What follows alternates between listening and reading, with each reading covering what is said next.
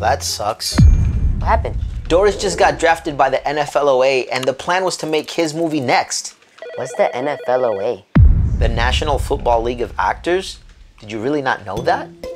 Oh, okay. Let's make fun of the one who's been saving the earth for a thousand years and didn't know football and acting was a thing. Sorry, I'm just a bit frustrated. The agency was waiting for me to put a new film out, and I don't know where to find a replacement in such a short notice. Wait, I might know a guy. Really? When I was saving the earth, I went to Hollywood and met this dude named Guy. He reminded me a lot like Doris. You should give him a call. Are you sure? Couldn't hurt to try. All right, give me his number.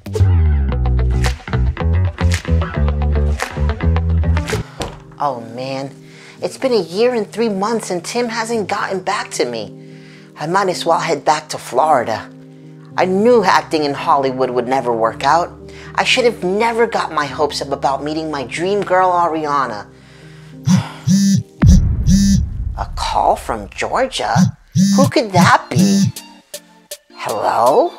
Hi, can I please speak to Guy? This is he?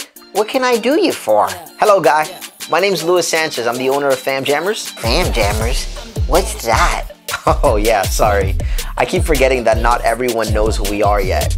I'm a movie producer. I actually just put out my first independent movie called I'ma Make You Famous on Prime Video. I give up and coming actors the opportunity to star in my movies. What? Isn't that the movie that Justin Silva, Fathead Joey, and Chupapi Muñeño's girlfriend, the guy who they did a skit of on Saturday Night Live?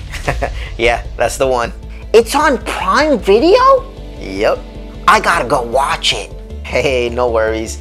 So the reason I'm calling you is because I might be looking for a new actor to add to my team. Is that something that might interest you? Sorry, I can't hear you, but I don't play the flute. N- no, is that something that might interest you? Cows go moo. Is that something that might interest you? No, my phone isn't on mute. Can you really not hear me? Oh, there you are. Now I can hear you. But why do you want me to get a tattoo? no, I just asked if you want to be an actor in my movie. Oh, yes, I would love to be in your movie. Great. Can you be in Georgia by tomorrow? I'll book you a flight first class, and I'll make sure you stay here with us in the Fam Jammers Love Corps. Oh, wow. Thank you so much. Don't mention it.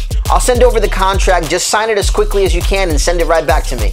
Oh, um, I just have one more request. What's that? Can I bring a few friends with me? How many friends are we talking about? Well, there's my manager, Tim.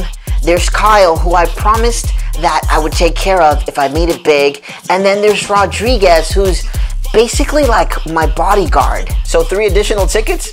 Yeah, we can do that. So I'll send over the confirmation via email and I'll see you guys here tomorrow. Thanks again.